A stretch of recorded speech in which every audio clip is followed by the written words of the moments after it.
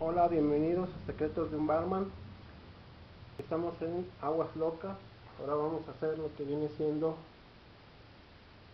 una de pitufo. Vamos a necesitar licor de curacao azul. Si no tienen, pueden comprar licor de naranja, conocido como Controy, porque el Controy es, es diferente, pero también es de naranja. Lo único que van a hacer es comprar un sobrecito de colorante color azul ¿sí?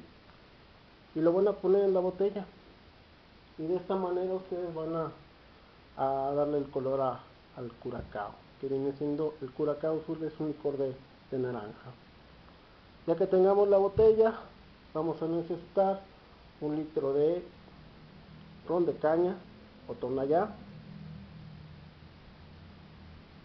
¿sí? también vamos a necesitar 3 litros bueno 2 litros de, de 7 up o refresco de lima.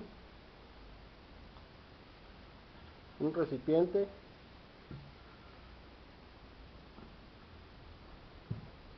Y lo único tenemos que vaciarlo todo en nuestro recipiente. Primero ponemos el licor después ponemos el refresco y luego ponemos el tonallá.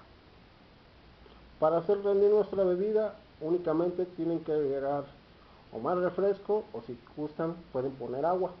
Por eso se llaman aguas locas porque la base es el agua.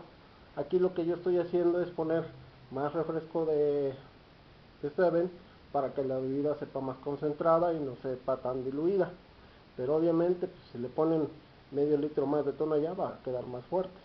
Obviamente también por el por el, por el licor de curacao azul es bastante fuerte tiene 42 grados de alcohol entonces si quieren diluirla lo único que tienen que hacer para diluir un licor es agregar jarabe natural. Es el jarabe. Ponen la mitad de la botella esto va a hacer que, que, el licor tenga más cuerpo, obviamente el licor de caña también, y sea más, obviamente va, les va a poner más, más pedos, más rápido, pero tengan cuidado.